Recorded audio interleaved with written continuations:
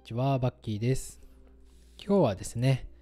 こちら、帝国図書館近代日本の知の物語。この本を読んだので、まあ、この本の感想を簡単に述べていきたいなと思います。長尾宗則先生がお書きになった本ですね。帝国図書館ですね。僕知らないなと思って。って思って前書きをね、1ページ目パラリとめくってみると、本書を手に取っていただいた読者の皆さんは帝国図書館と聞いてどのような図書館をイメージするだろうか。日本にあるのか現存するのかどのくらいの大きさなのか何冊ぐらいの本があるのか様々な疑問が湧いてくるかもしれないというところでドンピシャの僕の感情を一発目でこう当ててくるというね。そういう出だしになってます。この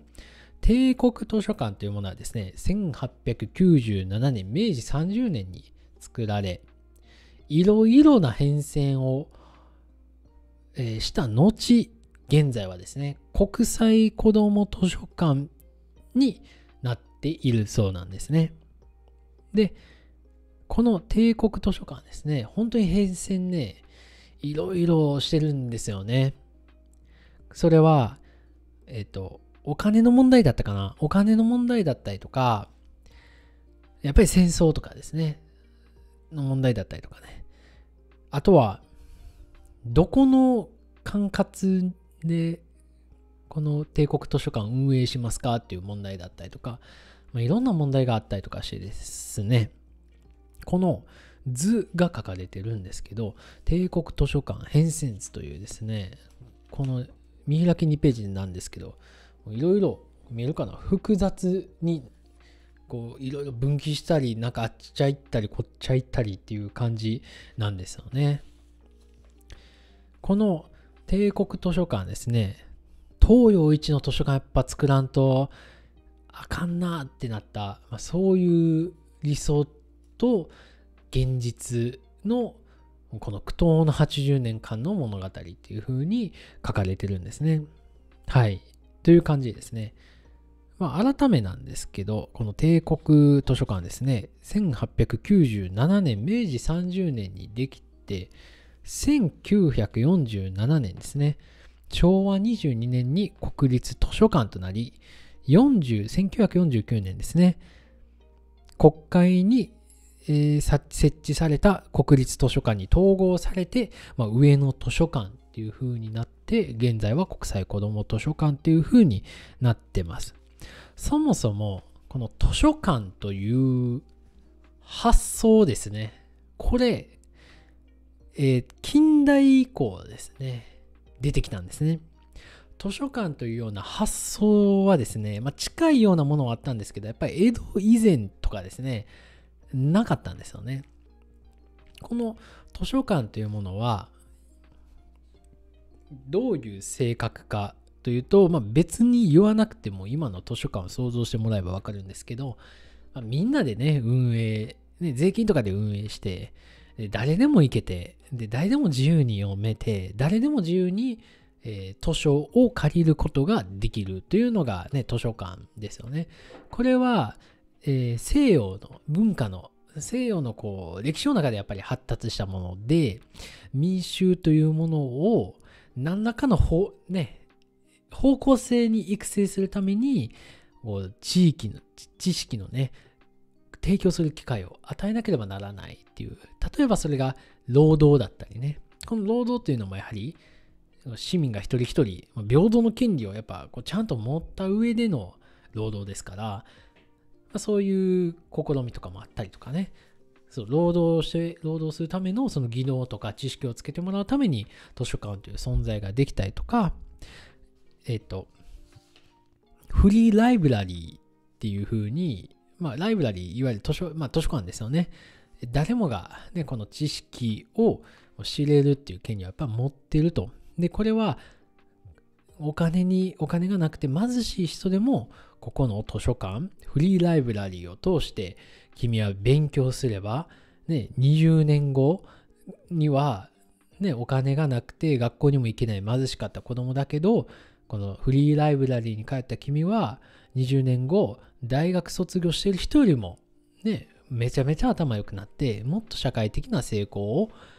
えー、持ってるに違いないゲットし掴んでるに違いないっていった、まあ、そういう思いがね西洋の図書館にはあるんですねアメリカヨーロッパといったような一方日本ではですね先ほども言った通りこの江戸まで、まあ、図書館に近いようなものもあったんですよね。ただ、図書館ではなかったんですよね。えっと、江戸まではですね、その、書物の保管する場所とかはあったんですよ。まあ、そういうのがね、文庫とかっていう風にあったりするんですけど、これはですね、主な目的が本の保管なんですよね。書物の保管で、本はやっぱ貴重なので、お金持ちのね、金持ちしか持ってないわけなんですよね。で、こういう人たちがね、私有財産的な感じで、書物をね、蓄えてたんですよね。で、明治以降ですね、図書館、だ誰も見、まあ、誰でも見ていいですよとかですね、あの、かまあ、借りていいですよ。この借りて持って帰るとかのね、ところも結構歴史があるんですけどね。そういうものもですね、まあ、いわゆるこう西洋の図書館的なものができたのがやっぱ明治以降ですと。で、えっ、ー、とね、諸弱館っていう風に言われてたりもするんですね。この、で、しかも図書館っていうのも、初めはね、その読みの揺れがあったらしくて、図書館って読む人もいれば、図書館ってね、読む人もいてたそうです。で、この諸弱の弱ですね。もう一つの諸弱感なんですけど、諸弱の弱はですね、あの、書くのっていう字で、で、この弱はですね、あの、席ですね。あの、席を入れるとかの、あの席ですね。で、缶は館なんですけど、そういう感じなんですけどね。まあ、もう見ないですよね。もう今はもう図書館でね、統一して読んでたりとかするんですけど、初めはですね、この書弱館ね、図書館、図書館ですね。これ、えー、文部省がね、1871年以降に設置したんです。これちなみになんですけど、こうやって本読んでいって、まあ、地味に大事ポイントが、その誰が図書館を持ってるかっていう、その、そこ結構大事ポイントだったりとかするんですよね。僕が置いていき、えーと、追うことができた流れとしては、えっと、まずはじめにね、文部省が設置したんですよね。です。で、その後にですね、えっと、東京府、東京都ですね、東京府って昔呼んでたのかな、その東京都がですね、その、今度じゃあ、俺らが持つわってなって、で、また文部省に戻るみたいなね、なんかそういうノリの流れがありました。はい。まあ、ちょっとね、見ていきたいなと思います。1872年ですね、主にですね、この市川清流という方がおられるんですけど、この人が、ちょっとやっぱ日本も図書館ないとダメっすわっていう風になって、まあ、この人をメインにですね、図書館というものをね、組織化というか、そのやっぱ成長させていきたかったんですよね。ちなみにですね、図書館のやっぱり問題っていう、図書館には図書館のやっぱ問題があるんですよね。あの別の本であの、この幕府海軍のこの本の紹介したんですけど、この幕府海軍とかにもやっぱり海軍作る上で問題あったんですけど、図書館も図書館で作る上で問題があったんですよね。どうやって本集めるっていう問題とか、あとは本どこに保存するっていう問題とかですね。この問題ね、実はめちゃめちゃ長引くんですよね。実はほんまの帝国図書館の終わり頃ぐらいにやっとこのどこに保存する問題とか、そういうのがやっとこう完成されたりとかするんですけど、はい。当時ですね、あの、木戸孝義というね、歴史の教科書に出てくる有名人の、えー、そのメディア、えー、新聞雑誌というところで、えこの図書館というものの存在がまあ、大きく、えー、広くこう、存在が知らされるようになるんですよね。で、この帝国図書館なんですけど、まあ、利用者ですね。もう超有名人がたくさん通ってるんですよね。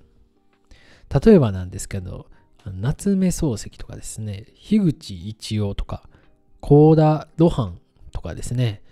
こういった人たちがこの帝国図書館に通って、樋口一葉とかは、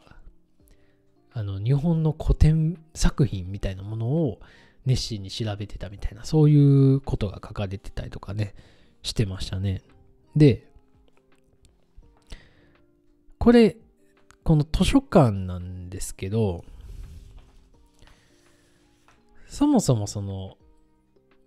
本ってどういうふうに図書館に納本されてるかっていうと、この当時の帝国図書館の時代はですね、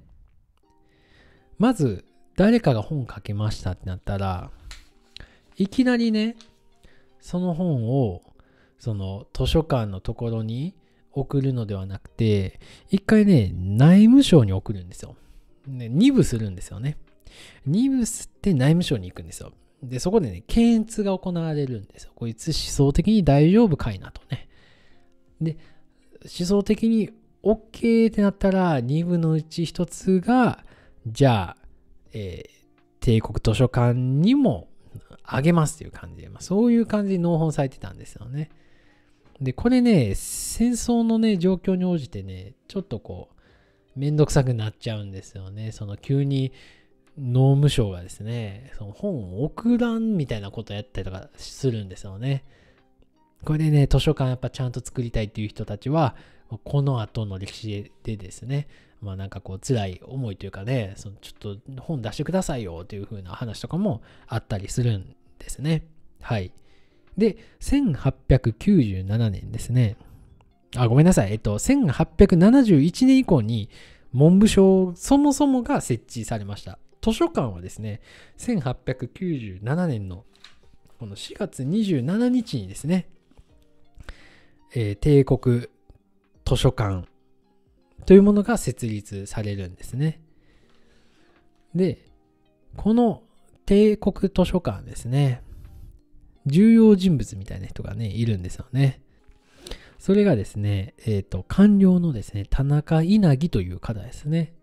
後にね、松本喜一という方に、このこの図書館の中心人物が変わっていくんですけど、この田中稲城という人がですね、これ、ウィキ、今、Google で調べたんですけど、図書館の父とも、えー、称されるそうで、えー、帝国図書館の初代館長ですね。この方がですね、はじめ頑張るわけですよ。で、この帝国図書館の、えー、設立してですね、やはり、まあ、いろんな問題がこうあったわけなんですけど、そのうちのね、一つに、まあ、面白い話があって、小説の導入の是非というところがあったんですよね。これはその当時は、ね、小説の導入はどうなのかと、これは本に納本納本するのに値するのかっていうね、そういう議題があったそうです。小説には大いに意義があると、えー、見てもいいんではないでしょうかみたいなね、そういう議論があったわけですよ。これ、ね、現代でいうところの漫画になりますよね。あの、漫画なんか読まずに、こう本を、小説というか、まあ、活字を読みなさいみたいなね、まあ、小説を読みなさいみたいなね、まあ、言われているんですけど、この一個前の時代ですね、小説読むんじゃなくて漢文を読みなさいみたいなね、まあ、こういう感じで、この、まあ、移り変わっていくわけですよと。で、なんかね、僕大学に行ってた時なんですけど、大学の教授が言ってたんですけど、もう漫画ももうあまり今の子供は読まなくなったと。この小学校で学力のいい、まあなんか上からトップ5人ぐらいの人、なんかいっぱいね、頭いい人が漫画読んでて、もうみんな漫画もあんま読まないよっていうね、やっぱこう動画メインになってきてるみたいなね、まあそんな話も聞いたことあります。まあ、当時もですね、まあ、このようにこの小説の導入の是非みたいなのがあったそうです。はい。で、これその、なんかね、本の種類とかもね、やっぱこうどうしようかみたいな、やっぱなってたらしいんですって、こうあの、こう、オツみたいなんで本の、なんだ、ランクみたいに決めてたらしくて、学術書とかはなんかこうとかにして、みたいな。で、えっと、オツとかはなんか小説とかにして、みたいな。で、なんかもう一個なんかその、なんか何？雑誌とか、まあ、そういったものもこうちょっとジャンル分けしましょうみたいな、なんかそういう分類の仕方とかもね、あったそうですね。はい。で、そうですね、ちょっと戻って、あの、調べたんですけど、この市川清流ですね、1872年のこの市川清流がですね、この近代図書館のですね、えー、憲白書っていうんですかね、その建てましょうみたいな、そういうことを言った人なんですね。はい。で、この人、博物館という言葉も、この人が、えー、訳語の創作をしているそうですね。はい。で、まあ、戻りましてですね、この帝国図書館ですね、これが存立つ、建立される時代ですね。どういう時代だったのかっていうと、あの日清戦争あたりの時代なんですね。これはメディアが拡散される時代ともあのそういう解釈もできる時代なんですね。日清戦争の時にこう鉄道が普及したので新聞紙が全国に普及された時代でもあるんですね。でその中でこの帝国図書館の設立っていうものが、まあ、この時代に重なってますよ。山本五十六という日本のまあちょっと僕あんま詳しくないんですけど、まあ、日本の、まあ、に有名な海軍軍人がいてるんですけど、まあ、この時代を彷彿とさせるようなエピソードトークがあって、まあ、当時この山本五十六という人はその田舎の方ねその東京じゃないところにいててなんかこうその帝国図書館の存在を知ってああ早く東京に行って帝国図書館に行きたいなみたいな。そこで本と本にふけりたいなみたいなねそういう日記的なものを残してるそうです。はい。っていうね。っていう。で、この1906年ですね、新しく、これ明治39年なんですけど、新しく新刊ができますと。で、この時代ですね、この新刊の帝国図書館に来た人ですね、和辻哲郎とかですね、芥川龍之介とか、谷崎潤一郎とか、菊池寛とかですね、文豪が言ってるんですよね。すごいですよね。ちなみに、えっと、昭和天皇とかですね、もう、その帝国図書館から何冊かこう本を、なんだろう、その、えつその見るから貸し、な何？借用っていうんですかね、なんかその、から、帝国図書館から本を借りたりしたみたいな、そういう話とかもあったりするそうです。あの、図書館記念日みたいな話、このこぼれ話も面白くて、あの図書館の設立した日ですね4月27日っていう風にあるんですけど実際はですねえっ、ー、と図書館記念日とも言える書弱館の開館日っていうのは9月3日なんですよね。あ、えっと、このごめんなさいね。えっと、4月27日は、これは帝国図書館完成の交付の日なんですけど、まあ、えっと、まあ、言いたいことはですね、図書館記念日とされている日にちと、実際に図書館が開館した日ってこれ違うんですよね。インターネット上とかでは4月2日を図書館開設記念日としてるんですけど、これ実は違くて、まあ、この本的には9月3日に、まあ、その文部省博物、えー、局諸弱館が開館されたって書いてるんですけど、これはこうなんで違うんだろうかなっていうと、この4月2日に、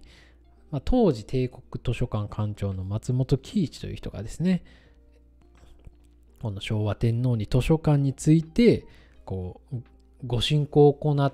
たのが結構こうイベントとして、まあ、こう強く残ったから、まあ、その日になったみたいな。そういう話とかもこぼれ話とかもあったりします。はい。っていう感じですね。で今度日清戦争の後ですね。あの日露戦争がこう始まるわけですと。で、この日露戦争後のね、図書館論で、まあ、一つ面白い見方があって、実はこの図書館も一等国民を育てるための訓練場じゃないかっていう研究もあるそうなんですね。実際、この図書館ですね、ちょっとこわごわしい雰囲気があるんですよね、帝国図書館。それは、その、なんかこう、読んでる机のフロアがあって、で、ちょっと上からかん、なんか、図書館員がこう監視してるんですよね。居眠りとかしてたらなんか怒られるっていう、ちょっとね、怖い雰囲気もあったそうです。はい。ほんでですね、あの日露戦争以降ですね、日露戦争以降ですね、日本ね、あの賠償金が取れへんくて、ちょっと国民がちょっと不満溜まっていくんですよね。でそうなると、ちょっと国としては、ちょっと日本国になんとか統一せんとあかんなって思って、あの社会主義の人たちをこう取り締まるっていう、そういう動きになってくるんですね。なので、社会主義書籍とかも取り締まっていこうというふうになっていくんですね。ちょっとね、カメラの充電とちょっと分数があのわずかになってきたので、ちょっと駆け足で話していこうかなと思います。はい。大正期以降ですね、各地での図書館が設立されていきます。中央集権的なね、図書館から地方にも図書館作っていきます。でも実はこうすることによって、地方の人たちでも日本を一つにさせるっていうような書籍とかを置けるので、日本の軍隊というかね、日本のナショナルアイデンティティみたいなね、日本に従事するみたいな、そういう考え方を植え付けられる本とかもやっぱり置けるようになったっていうことでも言えます。はい。